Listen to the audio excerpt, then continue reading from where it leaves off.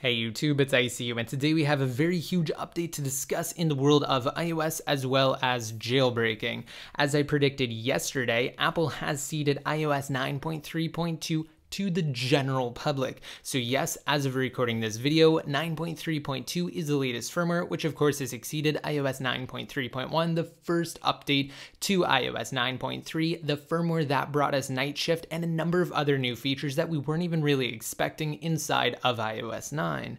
So we're going to get into what iOS 9.3.2 brings to the table. For those of you who are only interested in the jailbreak aspect of this video, down below in the more info, there will actually be a table of contents that will allow you to skip to whichever section or sections most interest you.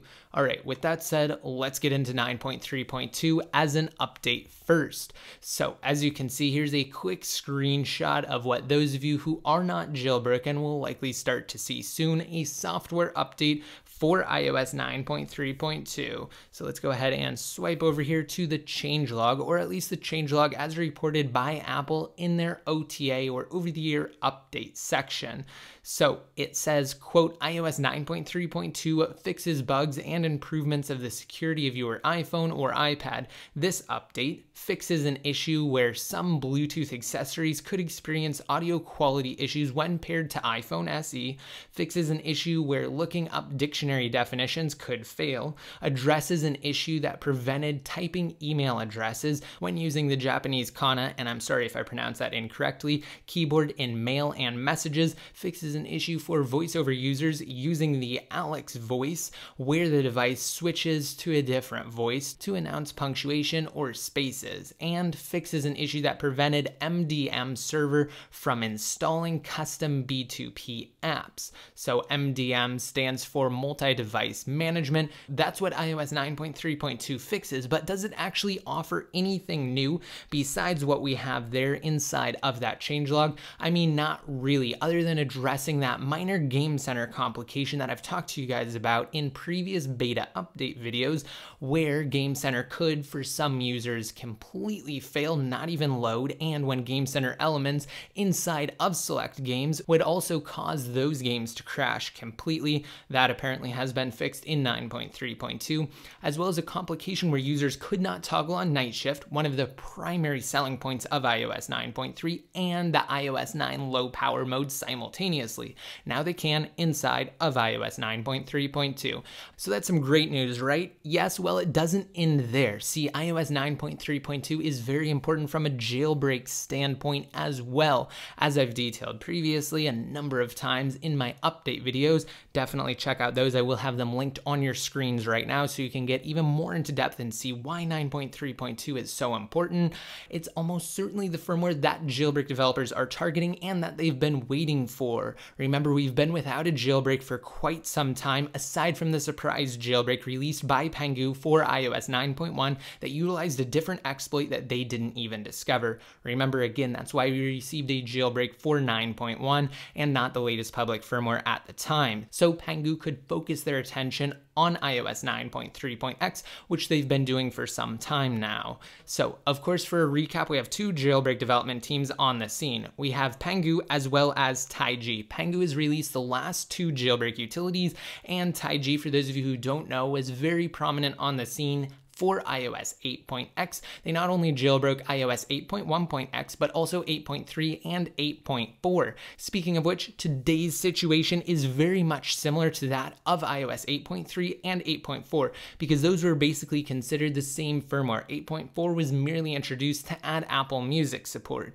But see, iOS 9.3.2 will likely be one of the last iOS 9 updates before we receive iOS 10 this fall. Apple has already started to taper off development of iOS 9 and divert their attention and efforts to iOS 10, which will be revealed in less than a month at Apple's annual Worldwide Developers Conference. They'll also see the first beta iteration of iOS 10. I'm really excited for that, not only to see the new direction that Apple is going to go with iOS 10, but also also because of what it means for jailbreaking. Remember, Apple is not going to spend as much time on iOS 9, so this is the perfect opportunity for jailbreak developers to target iOS 9.3.x. It seems like Apple has finally started to settle down after the whirlwind of public and beta updates that have ensued since the last 9.0.x jailbreak from Pangu was patched. As I mentioned before, iOS 9.3 brought new features to the table that we didn't even expect inside of iOS 9 and that most thought would be attributed to iOS 10.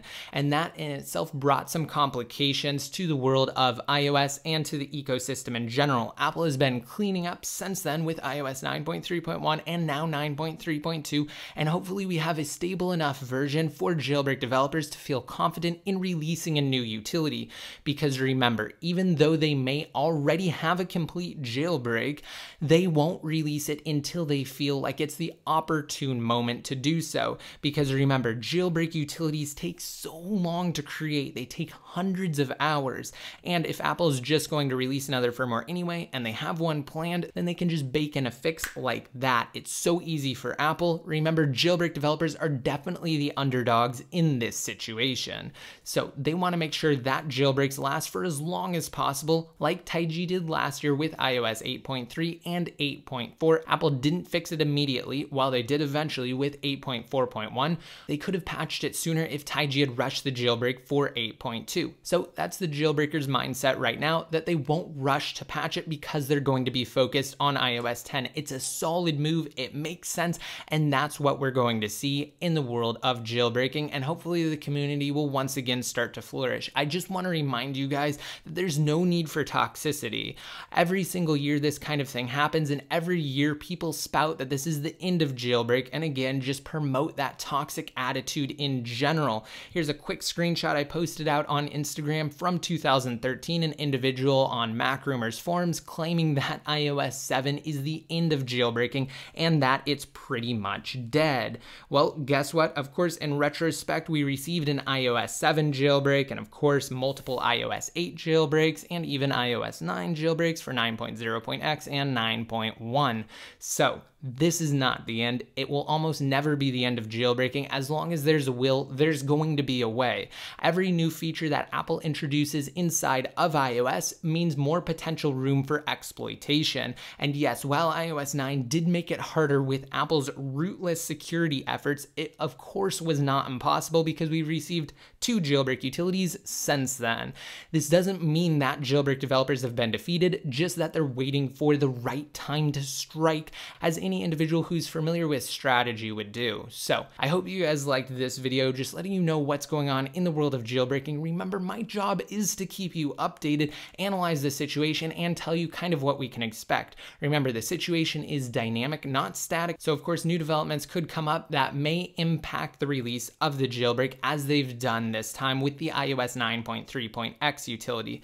Keep that in mind. And two other quick things while I have you guys here in this video. As for an expected release timeframe of a new jailbreak utility, in the past, jailbreaks have been issued one to two weeks following the firmware's release that they're actually targeting. So iOS 9.3.2 was issued today, May 16th, 2016. It is definitely conceivable that two weeks from now, we will already have a jailbreak. So keep that in mind. Of course, though, as I've said, anything could come up and change that, but that's what we're hoping for, and that's what we're predicting right now. Also, as for updating to iOS 9.3.2, should you do it? Really, that depends on you and your preferences. See, I'm not going to give you guys advice of whether you should or should not update. Just note that you should be happy wherever you're at, and once a jailbreak utility is released, then you can feel 100% safe to update. So, my advice is to stay where you're at unless you absolutely need the features introduced by iOS 9.3.x. So, maybe you're on iOS 9.2.x and you really want the features introduced by iOS 9.3.x, then you can do so, of course, because we do expect a jailbreak for 9.3.x. Remember that situation with iOS 9.1 and its surprise jailbreak was just that, a surprise. We don't expect anything like that to happen this time around, but if you want to err on the side of caution, stay where you are, wait until a jailbreak is released, and then update. That's probably the best move. Remember, I hope you guys liked this video, found it helpful. Don't forget to check out jailbreakandhacks.com, my brand new website. I'm going to keep you fully updated and informed there, just like I do here on my YouTube channel. So be sure to click the subscribe button below next to my channel name if you have yet to. That way you'll be completely notified. And if you want even more updates, such as when I'm working on and releasing new videos, just be sure to like me on Facebook and follow me on Twitter. And until next time, this is ICU, signing out. Join the I Crack Your iDevice community on Patreon to help out the channel and to be featured in videos similar to these top contributors. Click the link on your screens now if you're on desktop or check below.